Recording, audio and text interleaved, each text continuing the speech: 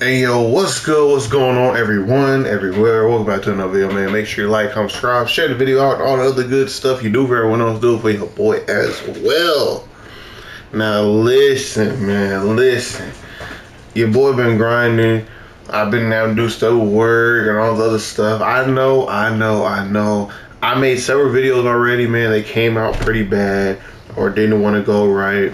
So look, we're not gonna go with the excuse right now. We're gonna hop into this build, man. This is Void Hunter Perfect. Everything Void Hunter does for you, is just gonna do this ten times better. Okay, that's that's all I'm gonna say. This is Void Perfected. Actually, we are in the Prismatic Hunter subclass. And boy, when I tell you, we got we got the roll, man. We finally got one of the good rolls. We finally got it, y'all. Those who don't know what I'm talking about, let me go ahead Oh, oh my goodness! I know you see it. You see it. I see it. We see it together. Feel me? It's crazy. We got Spirit of Galanor and Spirit of Gyrfalcon. Oh my goodness. That's pretty much two things that you wanted for Void Hunter. You want Gyrfalcon to have the volatile rounds all over the map. Alright? And you got Spirit of Galanor. This Orpheus rig. Alright. Now, let, let's let's just go ahead and get into the build, man. You see, deadfall tether, okay? It's tether, it's gonna do tether things, all right? We got our gambler's dodge to get our melee back, triple jump just because I love it. Threaded spike, to me, is one of the best melees, man. I love threaded spike. It's so, so nice. Um, if you want to do some weekend, you can still use some snare bomb or combination blow if you want to sit here and, you know, pretty much dodge melee, dodge melee to your heart's content. But that's not going to be the strong suit of this build per se, but it can still be a good variation. Now we are going to run the Duskfield grenade. I was experimenting with a magnetic grenade or even arc bolt grenade. Magnetic does do good damage, but if an enemy or enemies are within the Duskfield grenade, it is just so so good, and it does comparable damage if you do get uh, both shatters off from this Duskfield grenade being on the field, okay? Plus, the Duskfield grenade pairs beautifully well with the tether, kind of keeping everything in line and in your trap per se, okay? You're kind of getting to the essence, of the pure essence of really a hunter, of setting the traps, zoning off stuff, and just really taking control of the whole battlefield here, okay? now, you know Stylish Executioner is going to be a must-have for Void Hunter. This is the Void aspect, all right? You, you already know what it does, okay? Elemental debuff, defeating any target with that kind of thing gives you invisibility and true sight. Your melee attack will weaken, so that is good to know. But the other thing that we really want to use this for is just the invisibility, so we can get out of invisibility, get that volatile rounds, and kind of keep going. Now, because the Duskfield grenade, or really any of the grenades, aren't necessarily the best, Arc Bolt with Jolt is nice. So keep that in mind. And magnetic just does a little chunk of damage. But because we don't really have like the best grenades per se with this, Gunpowder Gamble is going to be phenomenal. Just the sheer amount of overall utility of Gunpowder Gamble is just going to be second to none, pretty much, okay? Now, let me go ahead and start up this onslaught in the background while we are still going over the build. I'll go into the fragments or um, yeah the fragments here. Now we're pretty much pulling from all the best things of the different subclasses. False protection is good to have nice damage resistance cover us at all times pretty much okay? Um, Facet of Dawn is going to be very, very good, especially on the fact that we have Threaded Spike, which is going to do so much good damage. Sever them, make tangles, make us invisible because since it is severing elemental debuff, as you see, and it's just gonna pair beautifully well. Then we have we're gonna get radiant off of this as well, which are volatile rounds plus our weapon plus radiant. It's just gonna be insane. Now we also are gonna sit here and get of Hope just to get um, our Radiant to pretty much give us our dodge right back, so to speak. Then we have Facet of Courage. Our Darkness debuff is going to be that Sever that we get from our Thread Spike. And our Arc Solar or Void, our Void ability, Gunpowder Gamble, kind of does more damage because of it. And then Facet of Ruin, just the extra damage and burst size of our Shatter from the Duskfield Grenade there. It's pretty much what we're running. Now in terms of weapons, let me move over a little bit so I'm not leaving the team hanging. Mountaintop, auto load and recombination is very, very good. We have our Buried Bloodline, which is key to this whole build because this one's going to allow you to get the Void subclass um, abilities and really transfer them over to the Prismatic Hunter. Now, this is going to give us Devour if we get multiple kills with it. Then once we have Devour, it's pretty much allows us to not only weaken on hit, but also give us some more um, health, you know, leeching or kind of that vampire at ask health um, gain from just shooting this multiple times. Now, this Devour is not tied to just the, the gun itself. So I can go ahead and get Devour with this gun, for example, right?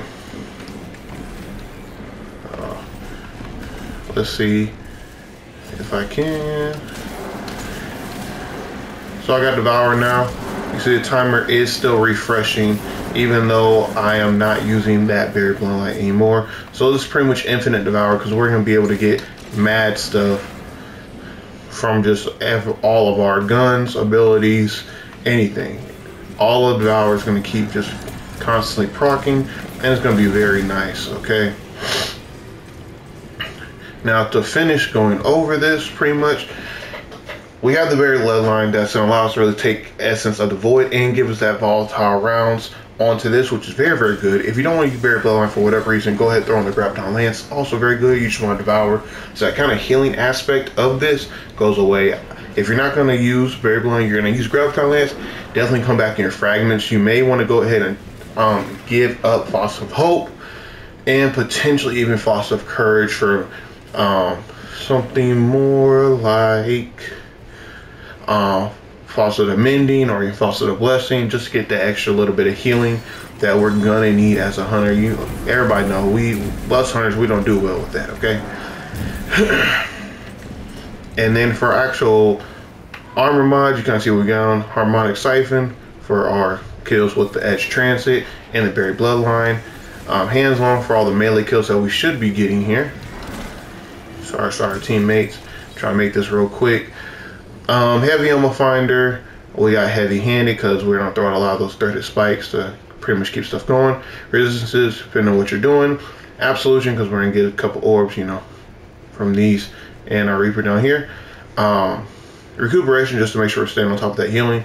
And um, Harmonic Siphon, just uh, Scavenger, my apologies. Harmonic Scavenger, so we can keep our barrel Line edge transit up on weapon ammo. Powerful Attraction, Reaper, and Special Finisher, just so we always have uh, Bloodline ammo, okay? Now let's go ahead, let's save the team. Let's go invisible.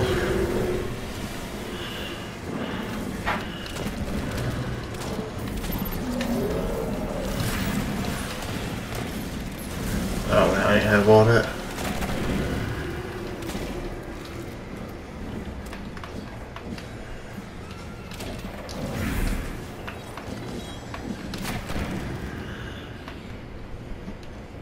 Look, and just like that, team is safe, we're all good. That didn't blow up in my face because I was invisible. See how everything just pairs so beautifully well? Now this is build is definitely not dependent whatsoever all on the actual artifact um, itself. But I will say there's some things that are very, very nice to have in the artifact. Let me go get this turret. I'm gonna get this one as well. Um, some of the artifact mods or perks, if you will, that you want to have. Unstoppable Sidearm for the Buried Bloodline is very, very good. Then coming over to Radiant Orbs, um, we can definitely get some like Void Hegemony. Galvanic Armor's very, very nice, I feel. Um, so it's kind of your pick. If you want, you can definitely do something even more so like this. and then kind of tap into that Void Abyss here by doing that. So the weekend that we applied with our Buried Bloodline, it went from I think 15% to 25%. Skull Crush is just absolutely, absolutely amazing. Recharge our melee faster and increase damage. It's gonna be very, very nice. Um, our grenade is gonna recharge faster. That we have Radiant, so it's kind of that synergy right here. Um, we're at rating from the orbs and the fact that we're using our melee in the first place. Still got damage resistance, and we have a void overshield from all the weak enemies thanks to our buried bloodline. This is really how you want to run your artifact uh, mod. It's going to be pretty much OP. There's almost no other reason to run anything else. Oh, maybe if I, you know, actually use my stuff correctly. Doo -doo -doo. But yeah, guys, this this is absolutely amazing. This is a fantastic build. I already theory crafted this build and many others a while ago. I was just kind of. I'm about to say blow up already. But no. I theory crafted this build and many others a while ago. I've been constantly waiting and at the mercy of the whole RNG at the moment which has been absolutely horrible. So definitely bear with me. I got a lot more builds to come and a lot more builds coming soon because I did get a couple of other drops that I did want. So stay tuned in for that. Come on. But yeah, without further ado, please like, comment, subscribe, share the video, all the other good stuff they do for everyone else. Do for your boy as well. Peace and shalom, y'all. Oh, and I, I do want to say, if you didn't see already, 100 resilience, 100 discipline, 100 mobility. You want mobility instead of recovery, just because mobility will let you get your dodge back, to allow you get your melee off and all that recovery. Since we have devour, there's really no point of recovery because we're gonna be killing stuff anyway. So, yeah, peace and shalom.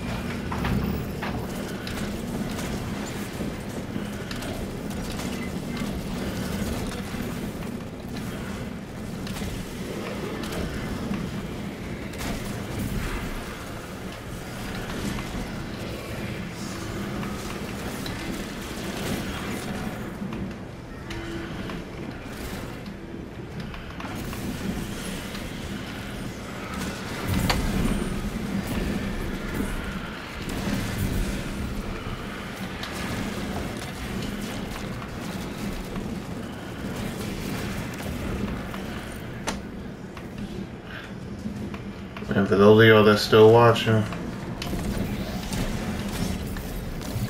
I do want to showcase that a lot of the extra stuff, like the gunpowder gamble stuff, actually, because we're using Barry Blind, you see it's more of a, a single target kind of weapon.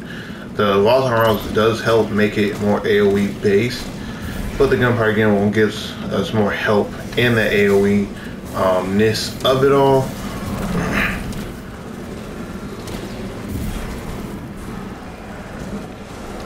As well as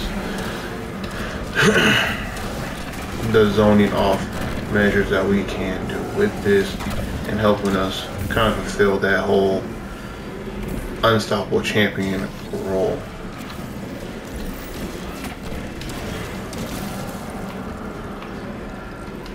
Just like the tangles are helping quite a bit. The void overshields help them keep us alive.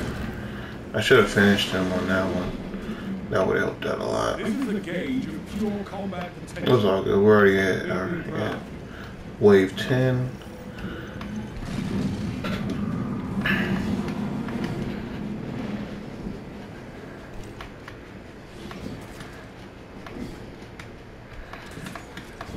Let's go ahead and take care of this boss.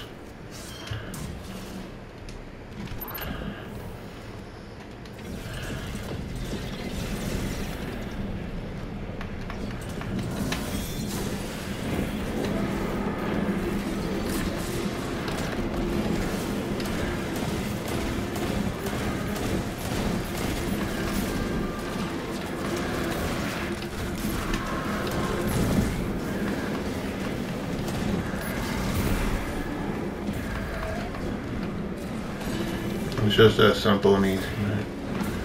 Just that simple and easy. I could have really taken him out with Edge Transit. I just want to use more of the subclass. It's way more fun than uh, what's called Void Hunter ever was.